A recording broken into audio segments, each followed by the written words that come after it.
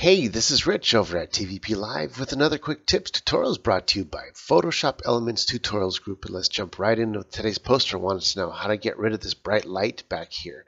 So basically, there's lots of different ways to do this. But if you try to use the stamp tool, the problem is, is that this background here is faded right here from the light. It's actually not going to work very well. You want to grab this nice dark areas. So if we use the stamp tool, and I'm going to grab a nice big stamp like a hundred point, and I'm going to grab it right here. I'll do Alt click. So if I start copying to try to cover this, what it's going to do is it's going to grab it from here and pan over to the right. It's going to grab this portion here, and you'll see it's dark, and all of a sudden it gets light again.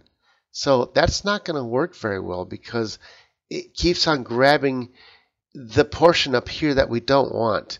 So let's undo that.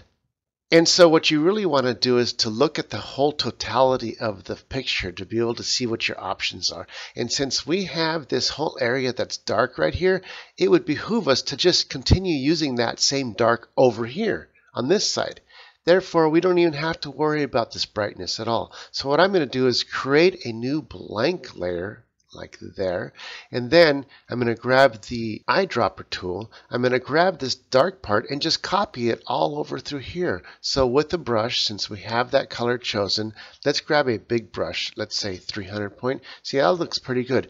And we're just going to, on this new layer, continue that color. And you know what? It's okay if we get on top of our other subjects a little bit because we're going to cut the portion that we don't want out. So now I just made the whole sky the same color. Let's go ahead and grab that layer and bring the opacity down so we know what we want to cut out from that new mask that we just created.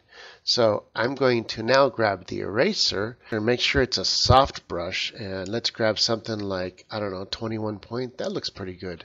And from our new layer that we just created, I'm toggling it on and off, we're going to erase the portions that we don't want to be covered, which is going to be right around our subjects.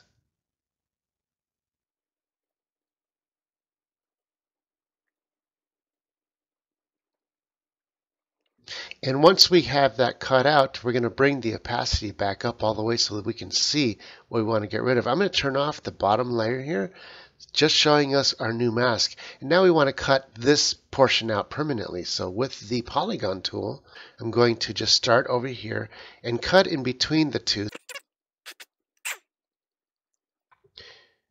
And once we get towards the end here, all we got to do is come across down here like this, double click, and now we got the marching ants. All we have to do is hit delete, and now we got rid of all the stuff that we don't want painted black. I'm going to hit the Control D to deselect. I'll turn the bottom back on. And there we go. We were able to mask off the whole portion of the lights in the background. Now, if we wanted to play around with the corner of his hair here because it's a little bit bright, that's easy to do. We can always unlock that photo. I'd make a copy of this photo and then I can turn off the bottom layer temporarily. Now with the top layer, I'd grab the eraser and it has to be a large soft eraser. Let's try at about 100 point. And I'm just going to softly erase the portion of his hair that's too bright. And that's right around from there to there.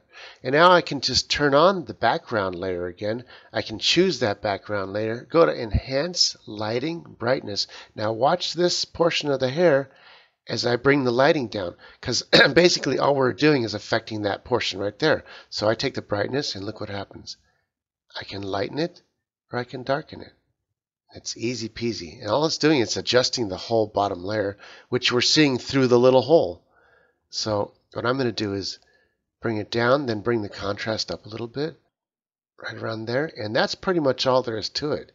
Well, this is it for this short tutorial. This is Rich calling it quits, saying over and out.